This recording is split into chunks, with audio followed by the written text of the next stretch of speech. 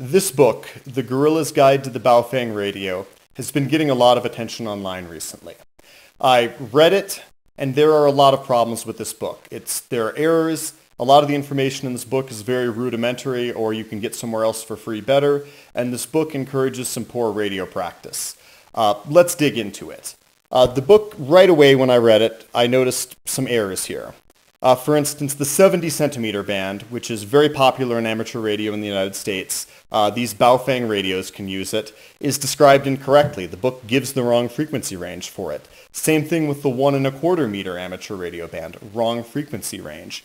Millihertz and megahertz are confused throughout the book. Some of the basic radio concepts in this book are somewhere between wrong and confusing. For instance, the book says that a dipole antenna has a positive half and a negative half. Uh, antennas don't work at direct current. They work at radio frequency. Similarly, antenna gain is discussed in this book. And the book just uses decibels without specifying decibels with reference to what, like an isotropic radiator, a dot perfect dipole, anything like that.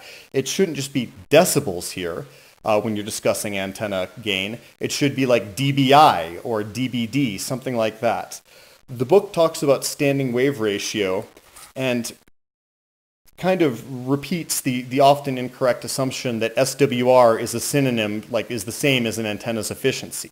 And that's not true. It's possible to build a very inefficient antenna, antenna that has a great SWR.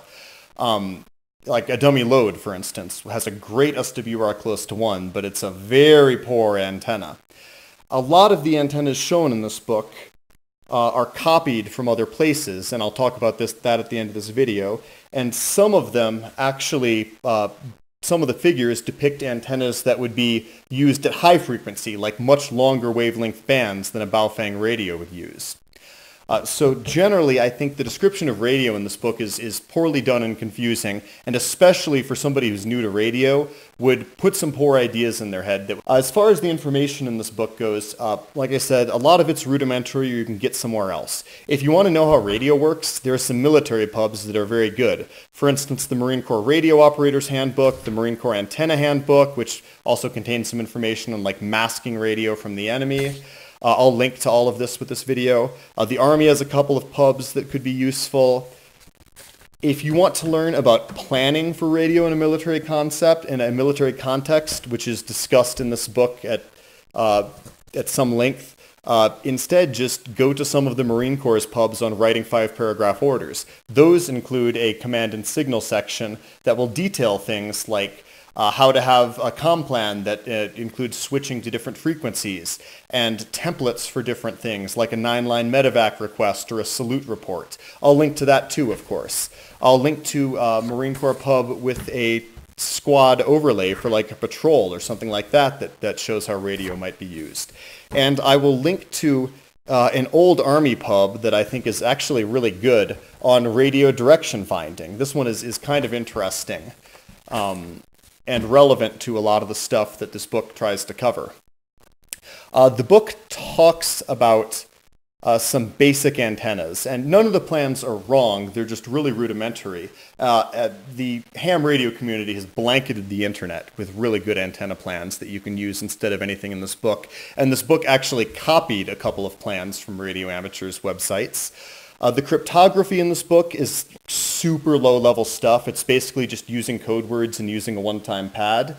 Uh, the book talks about digital operations, but all that is is a set of instructions to use one app that somebody else built. And the book includes some instructions for using the Baofeng radio specifically, but there are a bunch of other user-created free references for using the Baofeng radio, so especially the UV5R that this book focuses on. So I will go ahead and link to those. You don't need this book for that at all. As far as radio usage goes, um, the book encourages a few things that are not great. For example, this book has instructions to build a radio repeater by linking together two of these Baofeng radios. And there are several big problems with those plans. I don't want to go into that in this portion of the video because it takes a few minutes, but I will put that at the end of this video. I noticed also that the book kind of discusses Baofeng radios like they're like just mystical, magical totems. Uh, Baofeng is just a brand of radio. There's nothing, nothing special about it. It's like saying Harbor Freight, you know, socket wrenches or something like that. Uh, like the book claims that a guerrilla group could set up a pirate radio transmitter and transmit on an even decimal frequency in the uh, FM broadcast band, like maybe 91.4 FM, and only people with Baofeng radios can listen to that. That's not true. There are plenty of radios and uh, other bits of equipment that will monitor even decimal frequencies in the FM broadcast band. This uh, inexpensive little USB radio dongle will do that, for instance. Generally, I would say I really recommend staying away from this book, especially if you're new to radio. I've, I've said that a few times, but uh, the errors will hold you back. You can get all the information somewhere else for free and better. And this book encourages some poor practices. If you happen to be the author of this book watching this video right now, I'm happy to mark my copy up and send it out to you so that you can make some changes and maybe put out a second edition. I don't want co-author credit. I don't want any kind of royalties or payment or anything like that. I just want to make sure that people who are new to radio are getting good information. Thank you. One thing that I noticed going through the Guerrilla's Guide to the Baofeng radio is that a lot of the illustrations are copied from other sources. For example, on page 74, this large high-frequency antenna appears to be copied from U.S. Army Field Manual 24 TAC 18. If we look into the field manual, you'll see the exact same figure right there in this, you know, decades-old field manual. If we go to the jungle antenna, that appears to be from the same field manual if we go to the sloping V antenna. Basically the same figure. It might not be from the same field manual, but I bet this is copied from somewhere else. If we go a couple pages further along, you'll see the Yagi antenna.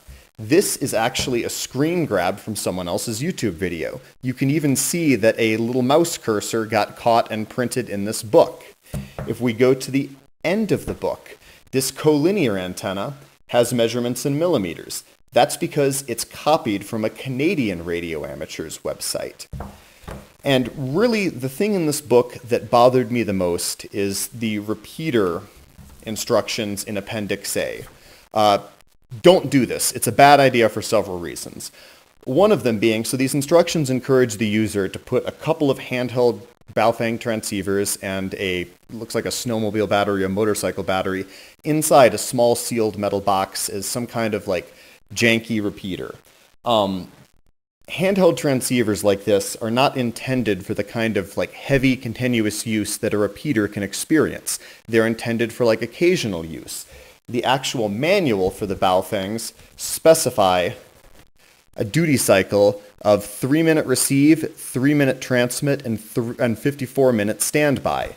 A repeater can easily exceed that because remember, the repeater is transmitting for the sum of the times that all of the people using it are transmitting. So if you have five people using the repeater for you know three minutes per hour each, you have a repeater that's doing 15 minutes out of the hour. That's a lot. And this could overheat, and then you could kind of have some, some not great consequences from that if it's sealed inside a metal box with a battery and another radio.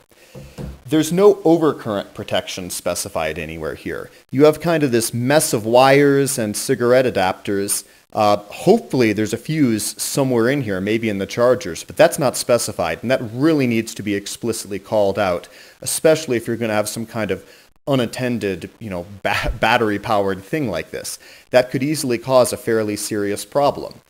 The third and final major issue I saw with this, although there are a lot of other minor ones, is that the frequencies this operates on were chosen very haphazardly. Uh, there are ways you're supposed to use different portions of the amateur radio bands. And the 2 meter band includes a satellite subband for amateur radio use.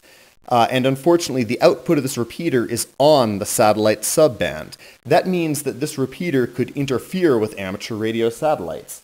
And unfortunately, very close to this repeater's output is the input of the repeater aboard the International Space Station, just 10 kilohertz away. So this book contains instructions to build a repeater that could actually interfere with amateur radio operations between astronauts and people on Earth. Don't do this. If you really want to use a repeater for, uh, you know, maybe uh, milsim practice or training or something like that, there are a lot of better options. Uh, you can use an existing repeater. There are a lot of repeaters in the United States that are already set up. So, you know, somebody's who knows what they're doing has built it. It's probably on a tower or a mountaintop. The frequency situation has been figured out, and they're just not used or barely used. So use something that already exists. I'll put in some links to help you find uh, repeaters in the amateur bands or GMRS you can get an off-the-shelf GMRS repeater. I've never tried any of these, but my understanding is that a lot of them get, are fairly well reviewed and are easy to install. They're mobile. Uh, they would be a much better option than DIYing this. Uh, you could get better antennas. Like instead of the rubber ducky that your handhelds come with, you could go ahead and get something like a 5 8 whip for GMRS, something like that that'll maybe get you uh, better signals to one another so you don't have to use a repeater at all. And if you absolutely decide that you need to build your own repeater like this, please at least look up your local frequency coordinator. I'll have a link that helps you find that and choose frequencies that won't cause problems for other people.